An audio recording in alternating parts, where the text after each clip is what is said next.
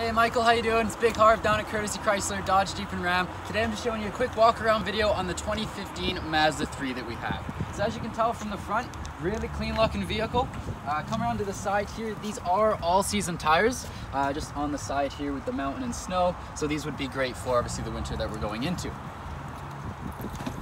Come around to the side, you got full uh, cloth seats on this one with the automatic gearbox and the radio just in the middle there.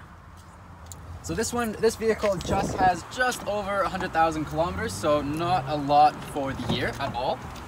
In the back, obviously roof, enough room for three passengers in the back and one in the front. This vehicle also has the rubber mats already in it, so it's gonna be great obviously when we get into that slushier time of the year.